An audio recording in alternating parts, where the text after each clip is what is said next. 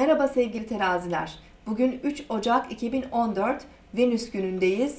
Bugün özellikle e, çocuklarınızla ilgili bazı kavramlar öne çıkabilir. Ev hayatınız, aile yaşamınız ve çocuklarınızla yapacağınız bazı paylaşımlar e, özellikle önümüzdeki günler için keyifli sonuçlar doğurabilir. Burcunuzu dinlediniz. Bugün 3 Ocak 2014 Venüs günündeyiz. Kova burcunda ilerleyen ay güne bağımsız, orijinal ve sosyal enerjiler veriyor.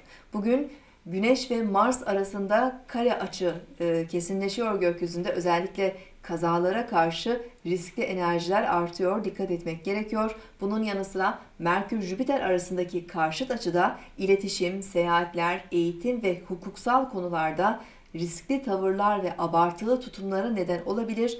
İletişimlerimizde denge ve uyumu bulmamız gereken bir gündeyiz. Öğleden sonra etkinleşecek Ay-Mars üçgen açısı enerji ve motivasyonumuzu arttırabilir. İlişkilerde ve sosyal faaliyetlerde daha girişken ve cesur davranabiliriz.